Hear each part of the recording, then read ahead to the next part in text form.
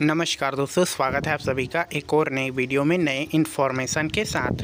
दोस्तों, देख सकते हैं ये तरु के पौधे हैं, इसको कहीं कहीं पर नेनुआ और ऐसे अनेक नामों से इनको जाना जाता है। तो आज हम दोस्तों बात करेंगे इन्हीं के विषय पर।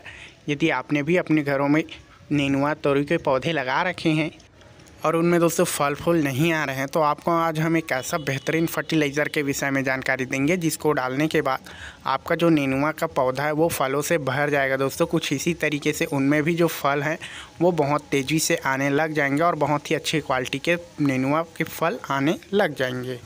दोस्तों, इस पौधे के विषय में हमने आपको पहले ही जानकारी दे दिया है। ये जब पौधा बहुत छोटा था, लगभग 10 से 15 दिन का था तब हमने आपको इन्फॉर्मेशन के साथ ये जानकारी दिए थे और एक फर्टिलाइज़र डालने के विषय में बताया था।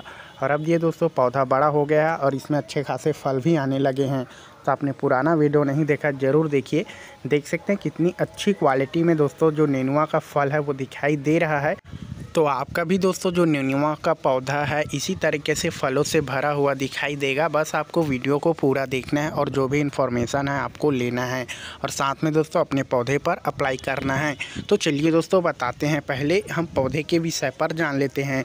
ज़्यादातर दोस्तों देखा जाए तो नेनुआ भारत के सभी जगहों पर खाया जाता है, जिसके कारण जो इनका रेट है, जो प्राइस है, वो हमें अच्छा खासा देखने को मिलता है। और इनका एक यही कारण होता है दोस्तों कि लोगों द्वारा इनको अपने घरों में लगाया जाता है।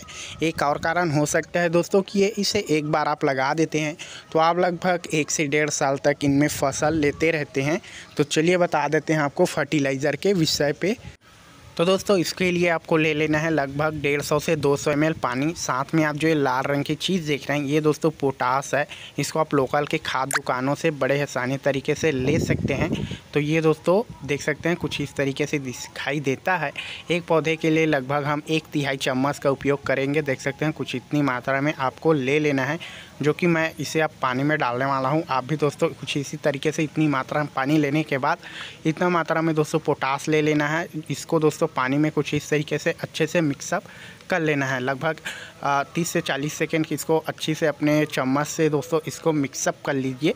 जो पानी और जो पोटास है वो अच्छी तरीके से मिलने के बाद देख सकते हैं इनका जो कलर है वो हल्का सा दोस्तों रेड रंग का हो चुका है। और चलिए अब हम चलते हैं पौधे के पास। इनका उपयोग पौधे में किस तरह से करते हैं।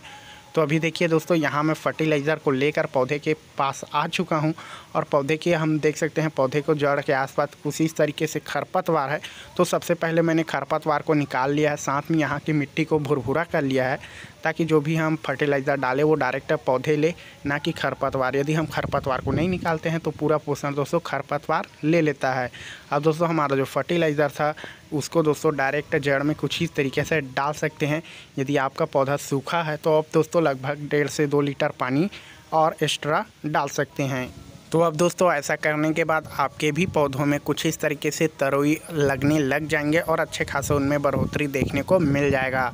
तो ये था दोस्तों, एक छोटी सी इन्फॉर्मेशन आपको कैसी लगी कमेंट करके ज़रूर बताइए। कोई भी कमेंट हो, कोई भी सवाल हो, कोई भी क्वेरी हो तो कमेंट ज़रूर करिए।